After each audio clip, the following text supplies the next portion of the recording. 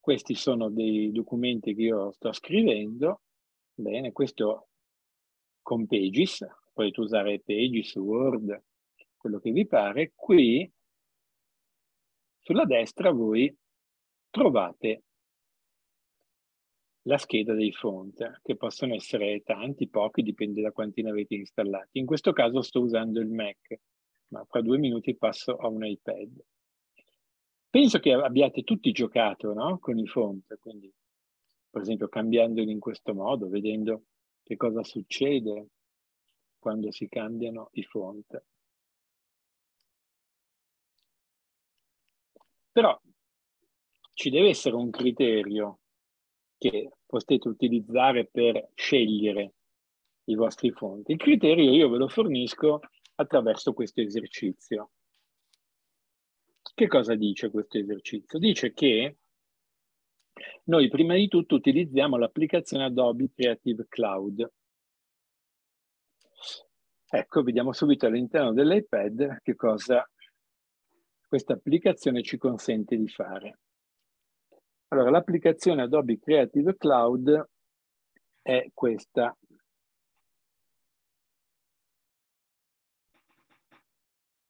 Questa qua. Questa è l'applicazione Adobe Creative Cloud. Allora, prima di tutto siamo nel, in questa applicazione, d'accordo? Nella home dell'applicazione, vedete? Siamo nella home dell'applicazione. Sulla sinistra avete la sezione font. Mi seguite? Riuscite a seguirmi? Datemi un feedback. Sì, sì. Sì? Ok, allora la sezione fonte che cosa vi propone? Vi propone dei font a pagamento e dei font gratuiti. Guardate che i font, vi ricordate quello che diceva Sabina prima? Lei ha retribuito i suoi allievi per la realizzazione di un marchio. Estremamente corretto. È un lavoro, la creazione di font è un lavoro. Vi ricordo che Steve Jobs è stato il creativo che è stato da un punto di vista informatico, se vogliamo, no? ha inventato quello che ha inventato, ma eh, la sua creatività, perché la sua creatività nasce proprio dalla costruzione di fonte. Lo sapete che uno degli hobby di Steve Jobs, se non quello più importante, era proprio quello di elaborare dei fonte, di concepirli, di disegnarli. Ecco perché il Mac poi ha avuto sempre questa grande attenzione verso la grafica e la rappresentazione della, della forma attraverso la quale i prodotti venivano costruiti ed erogati. Quindi è giusto comprare dei fonti nel momento in cui voi dite ma il fonte che mi rappresenta, che proprio del quale non posso fare a meno, è questo che si chiama XY, eh, lo compro, lo compro perché eh, rappresenta, è il lavoro di qualcuno che vi rappresenta. Allora, siamo nella sezione font. Che cosa dice? Che cosa dicono le indicazioni che, che, vi ho, che vi ho dato? E che sono delle indicazioni che voi potete tranquillamente utilizzare per i vostri studenti, quindi riproponendo pari pari quello che state facendo qui con me, lo potete rifare per conto vostro per arrivare ai vostri risultati, ma anche proporlo proprio in classe come progetto esattamente nella successione che qui vi illustro. Allora, voi dovete cercare due font, due, non di più. Perché due e non tanti? Abbiamo centinaia di font a disposizione, perché ne devo scegliere due? Per alcuni motivi. Eh, un motivo riguarda la comunicazione visuale. Non si usano mai più di tre font all'interno di uno stesso documento. Però noi riduciamo a due, questo mai, lo riduciamo a due perché? Perché in realtà ogni fonte è composto da una famiglia e le famiglie di font eh, sono composte da delle variazioni che rappresentano eh, tutta una serie di, di grafiche differenti. E quindi, quando, perché? Perché abbiamo il bold, abbiamo il black, abbiamo, eh, non so, il corsivo, abbiamo, abbiamo dentro, all'interno di un font, questo font è una famiglia in realtà che rappresenta tutta una serie di variazioni. Quindi noi non possiamo utilizzare troppe variazioni all'interno di un documento perché creiamo confusione nel lettore. Quindi restringiamo l'indicazione classica di non utilizzare più di tre fonti a due, due fonti. Secondo quali regole? Allora, seguite con attenzione, i fonti devono avere queste caratteristiche. Entrambi devono appartenere a una famiglia molto varia, che vada almeno dal pink, light, per esempio, fino al black. Vedi lo screenshot. Quindi qui abbiamo uno screenshot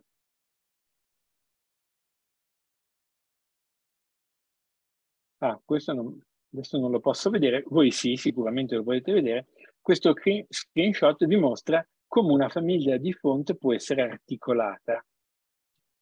Quindi entrambi devono presentare una famiglia molto varia. Poi uno di questi font deve essere con le grazie. Il font con le grazie ci servirà per il testo narrativo, il corpo del testo. Eh, per esempio potete provare con Adobe Garamond Pro. Quindi proviamo a cercare attraverso la lente, qui da questa parte, vedete? La lente, proviamo a cercare.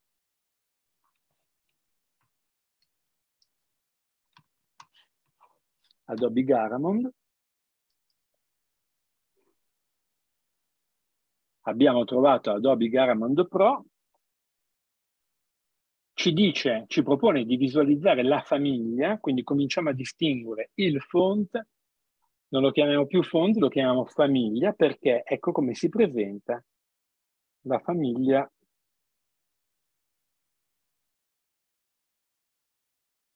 di Adobe Garamond Pro. È sempre lo stesso font,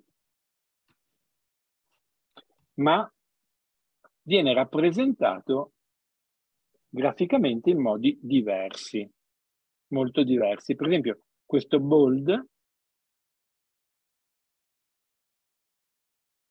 questo bold è molto diverso da questo italic. Tra l'altro, che cosa avete notato? Che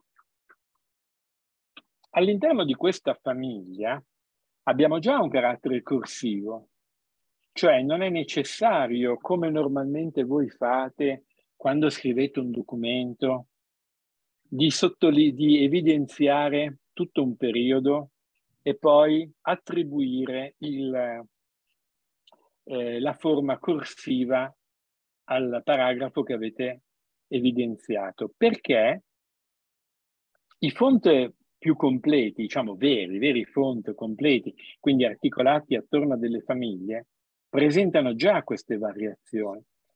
Per esempio abbiamo un semi-bold, un semi-bold che è una cosa italic, che è una cosa molto diversa dal selezionare un paragrafo, per esempio selezioniamo questo paragrafo e poi gli attribuiamo il carattere italico eh, che io sto facendo perché è una variante che mi viene proposta da Google, posso anche trasformarlo in un bold, per esempio. Però un bold non è un semi-bold e questo italico non è stato disegnato per questa famiglia di fonte, è stato applicato sopra, sopra il corpo normale.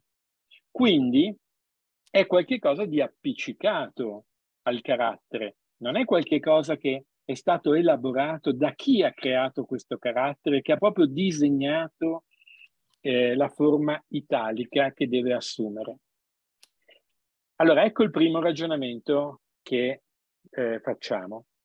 Scegliamo un fonte per il corpo, quindi per, non so, state scrivendo una, una relazione, avete i titoli, i titoli avranno un determinato font, mentre il corpo, cioè tutto il contenuto narrativo, avrà un font con le grazie sul tip, quindi le, ah, che cosa sono le grazie?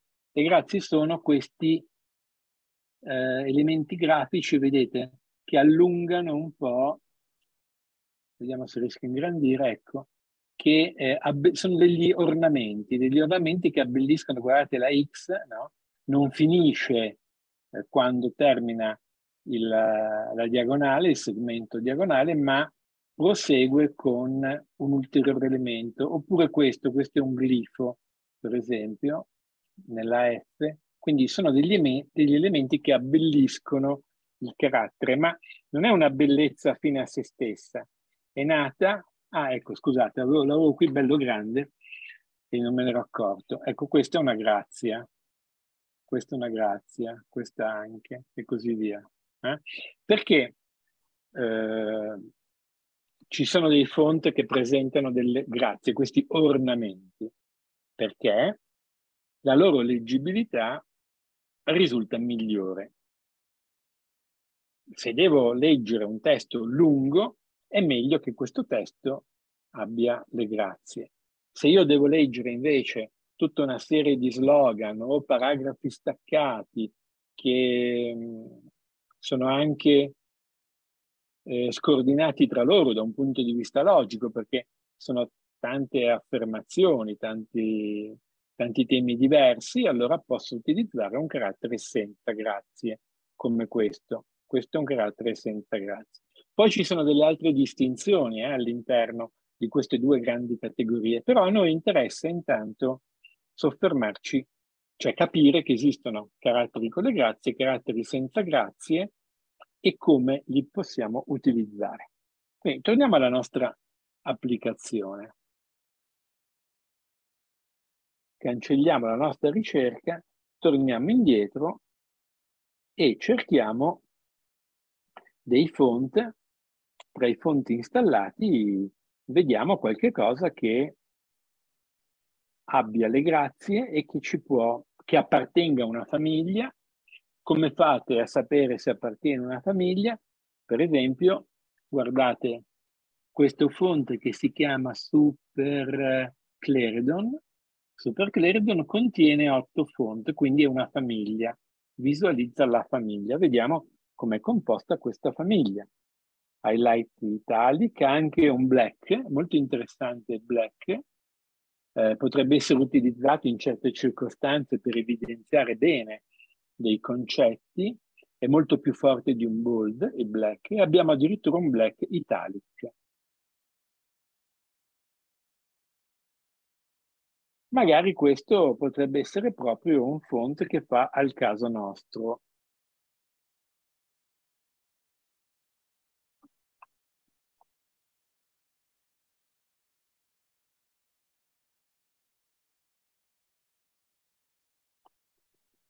Poteva, potete anche scrivere una frase, eccolo qua dov'è, sì, qui, in questa icona qua in alto a sinistra, fate un tap, potete scrivere una frase, per esempio così,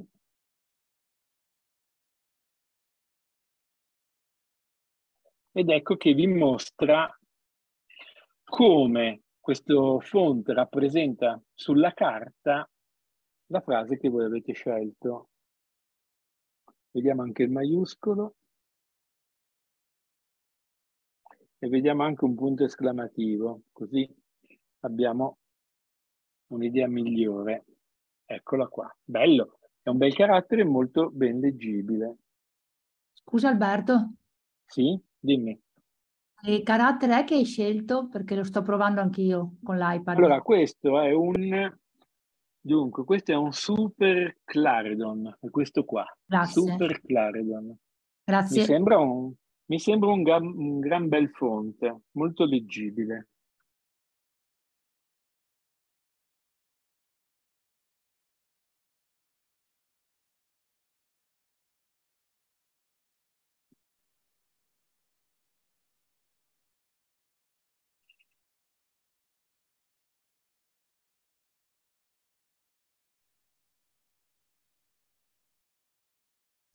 Se avete scelto, adesso fate qualche prova, no? cercate un font con le grazie che vi piace.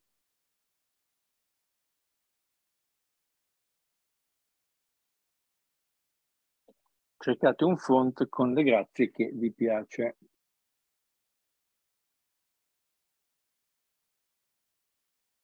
Quando l'avete trovato, diciamo che io posso essere interessato a questo, come si chiama, Claridon, mi sembra,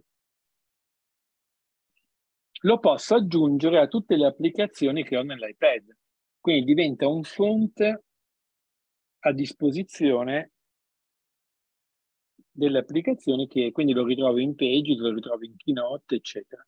In che modo? Facendo clic su questo pulsantino in alto a destra. Lo vedete? Sarebbe, è un T più, più vuol dire appunto aggiungi questo font. Quindi vuoi installare tutti gli otto font? Installa.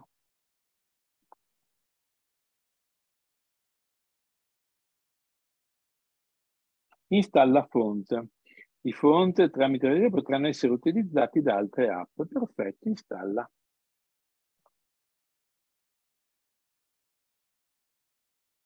Eccolo qua. Sono comparsi tutti i check dell'installazione avvenuta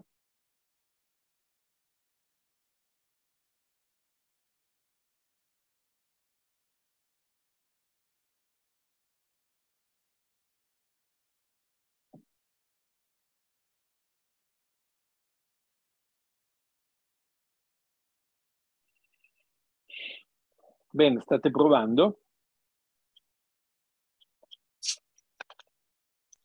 Sì, molti non sono inclusi nel pacchetto, ma comunque vabbè, ci si arrangia. Sì, dovete cercare quelli, quelli liberi.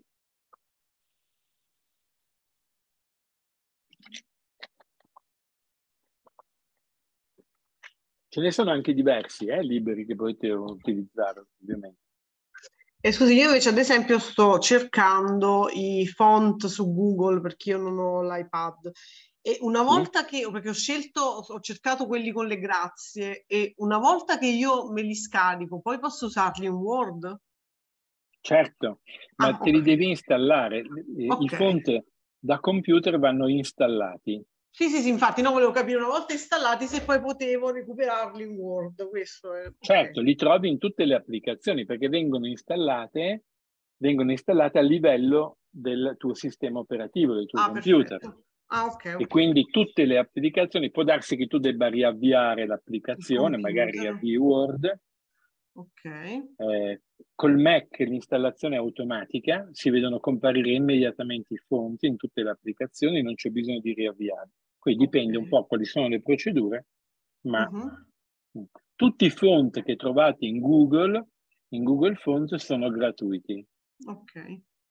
Però per installare i font Google all'interno dell'iPad e del tablet occorrono delle procedure un po' più complicate, perché bisogna avere delle applicazioni specifiche per installarle.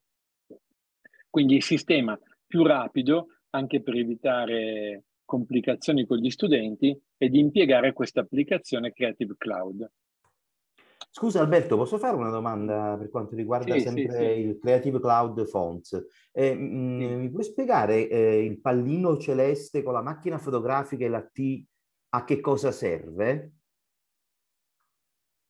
In basso? Ah, perché qui, ah, perché qui, tu, eh, tu utilizzi, sì, allora tu inquadri un testo Ok, questo è il testo. Eccolo qua. E adesso lui fa la sua ricerca. Vediamo. Vediamo, vediamo. Ah, però, no, sì, insomma, no. Ah, sì, ah, vediamo, no. Mm. Mm, boh. Lui ti trova tutta una serie di famiglie che possono assomigliare, vedi? è difficile, però ecco, vedi, per esempio, questo qua, l'Indie Flower Regular, eh?